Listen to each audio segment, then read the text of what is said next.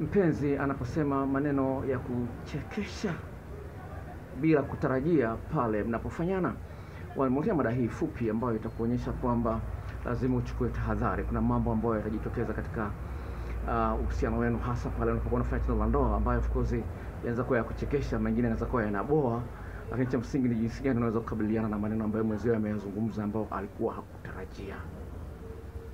Kwa mfano uh, mnafanya mapenzi na mwanamke alafu mnafanya mapenzi na mwanamke, wakati mnafanya mapenzi anakwambia sasa utanioa, sasa utanioa, utanioa, vitu kama hivyo vikatokea. Sasa kuna wanawake ambao wanafikiria mkishafanyana tayari ni tiketi ya kuingia kwenye ndoa, hiyo ipo. Kwa hiyo lazima ujiandae na vitu kama hivyo vinaweza kutokea. Unaweza kuwa unafanya mapenzi na mwanamke, kwa mfano kwenye ukatumia mkao ule, mwanamke anainama chuma mboga, ukakuta kwenye tatuu ameandika maneno, unaweza ukacheka.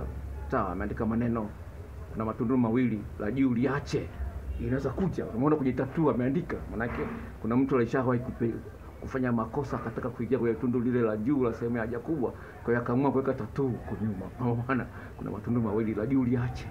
Sasa unaweza kuona hivi vitu unaweza kukutana navyo kwenye kwenye mapenzi, lakini lingine ambalo lipo, unaweza kukutana na mwenzio anataka tu alete utofauti, usiboreke na wewe anakuwa ametengeneza supu nzuri ya nyama, supu nzuri kweli, nzito ya nazi, anakwambia chovya dudu lako kwenye supu hiyo, alafu mimi nilinyonye. Hicho vinaweza kutokea, anaamua tu kuleta kitu tofauti ambacho kitasababisha wewe mkumbuke. Kwa hiyo sikashtuka sasa, ah, huyu mbona amekuwa ame sawa sawa sawa sawa. Mara nyingine mtu anaweza kuongea kiutani, ondoa moyo yako chafu, sasa ondoa moyo yako chafu, lakini anaongea tu kiutani, unaweza kumwelewa vibaya. Ondoa moyo yako chafu, vitu kama hicho vipo, sawa. Mwingine kwa bahati mbaya, sawa, akataja jina, la mpenzi mwingine tofauti, sawa, mpenzi wake wa zamani. Wewe unaitwa Jenifa, kasangaa amekuita Janet. Hiyo inaweza kutokea kama kaka mmoja, sawa, alikuwa na mpenzi ambaye ni mapacha wale wanaofanana wa kike, sawa, akajikuta anafanya mapenzi na Doto, akamwita yule mpenzi wake Kulwa, akatafanya tendo ndoto la ndoa. Mwingine akakosea, anafanya mapenzi na mpenzi wake, akataja jina la mama yake na yule mwanamke sasa unaweza kuwa unaumia. Haya yanatokea pale, akili inakuwa ifanye kazi sawa sawa, kuta mtu anaongea kitu ambacho alikuwa. Kwa hiyo usiumie sana, sawa sawa. Mwingine akamtania mpenzi wake, hivi wewe, kwa nini kipiga simu zangu upokei kwa wakati? Kwa nini? Kuna siku nitakujiambia wewe. Ah, mwanamke mwanaume akasema, ah, utanijiambiaje bwana? Kwani mtu akijiambiwa vinauma? Akasema, haya, shauri lako, kuna siku nitakujiambia. Sasa siku hiyo yuko ananyonya uchi wa mwanamke, anaulamba, mwanamke akajaba wenye harufu kali. Kama si nilikwambia nitakujiambia. na mbona una- unashtuka? Nilikwambia. Vitu kama hivyo vipo. Vitu kama hivyo. Kwa hiyo usitegemee kwamba kwa kwamba mambo yatakuwa kama unavyotarajia wewe. Yatakuja mambo ambayo ambayo hauwezi kuyatarajia kabisa, sawa? Sasa mwingine amezoea, wasa wanaume wamezoea, anafanya mapenzi na mwanamke ndio anamtamkia nakupenda, nakupenda baby, nakupenda. Mwanamke akamwambia, hebu niambie sababu zipi zinasababisha unipende, wakati tayari dudu liko ndani ya uke.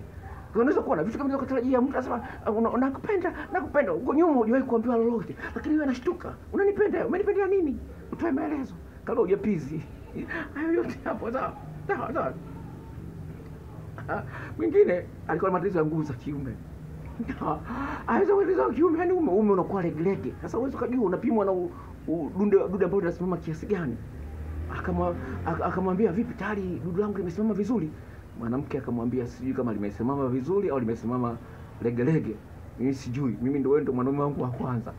Unaweza kuona jinsi gani hii inaweza kuleta shida kwenye mahusiano. Kwa hiyo mambo kama haya yanaweza yakatokea, na usije ukashtuka sana, na ni mambo ambayo unaweza kukutana nayo katika mahusiano ya ka, ya kimapenzi. Haya ni mambo ambayo inapaswa uyaangalie. Mwanamke mwingine akamwambiaje, ukinipizisha mara mbili nitakubali kuwa mke wako. Nasema ukinipisha kwenye unipizishe mara mbili nitakubali kuwa mke wako. Haya mambo yapo, changamoto kama hizo zipo. Kwa hiyo usichoke sana, endelea kufurahia mapenzi, usishtushwe na mambo ambayo yanatokea pale, ili mradi unajua mwenzio anakupenda. Kwa heri.